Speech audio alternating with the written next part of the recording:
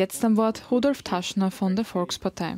Und das ist natürlich keine Farce, dass es erhöht wird, sondern es ist Tatsache, äh, möchte ich äh, ein, eine Fußnote noch unterbringen. Es ist ja in der Krise so, äh, dass das Bedürfnis danach äh, stark wächst, nach Tröstung, wenn Sie so wollen, nach Linderung, nach äh, einer Ermutigung.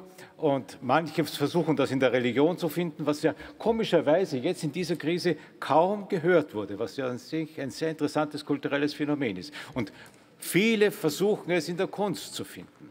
Und ich möchte als Symbol zum Beispiel nur hinstellen, äh, am 2. November, an diesem schrecklichen Tag des Terrorangriffes, als äh, das Publikum der Oper im Haus bleiben musste, und nicht weg kann und in Bangigkeit und in Sorge dort gesessen ist, haben äh, vier Wiener Philharmoniker im Orchestergraben mit Kunst diese Situation aufzuheben vermocht.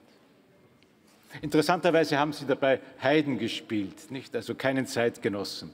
Aber wie dem auch sei, wir werden natürlich mit diesem Budget viele Zeitgenossen auch fördern. Und wir werden natürlich uns das Risiko auch damit des Risikos äh, bewusst sind wir uns dass bei dieser Förderung unter Umständen nicht nur Bleibendes und Wertvolles, sondern vielleicht auch Zeitgeistiges und Albernes gefördert wird. Das muss man halt auf sich nehmen. Aber Frau Staatssekretärin, ich weiß, dass Sie den scharfen Blick dafür haben, hier die richtige Auswahl zu treffen. Es werden keine Duftmarken gesetzt, wie da irgendwie verkündet worden ist, sondern es werden tatsächlich wesentliche Förderungen gegeben, äh, die uns da weiterhelfen. Äh, ich glaube, dass dieser Blick, den Sie da haben, da bin ich mir recht sicher, weniger sicher bin ich ich mir äh, zum Beispiel bei der Stadt Wien, Frau Kollegin Brandstötter, nicht? Also da ist es doch ein bisschen eigenartig, wie sich da das Kultur- und äh, äh Kunstprogramm in der künftigen Regierung äh, ausmalt. Da ist es eigentlich nur ein More of the Same, etwas inhaltsleer.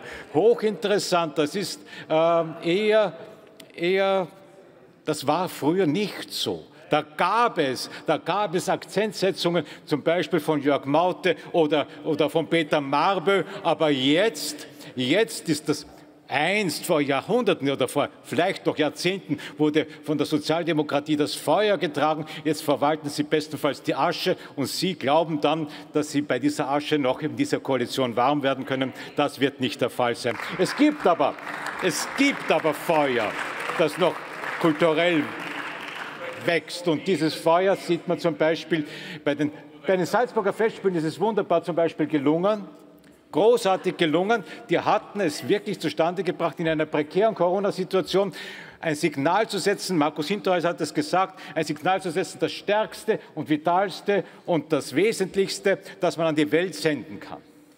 Und darum ist es auch gut zum Beispiel, dass wir die Festspielhäuser unterstützen und viele andere Projekte, Frau Staatssekretärin, Sie haben sie alle genannt. Das ist alles, sind alles tolle Akzente, die gesetzt werden. Daran kann sich eine Koalition, die in Wien gebildet wird. Ich würde sagen, man sollte sie Rostrot nennen, ein Beispiel nehmen. Ich glaube, das werden Sie nicht ganz zustande bringen in Wien sagt Rudolf Taschner von der ÖVP. Neben Lob am Kulturbudget der Bundesregierung gibt es Kritik an der rot-pinken Koalition in Wien. Laut Taschner wäre im Bereich Kultur wenig im Regierungsübereinkommen vorgesehen.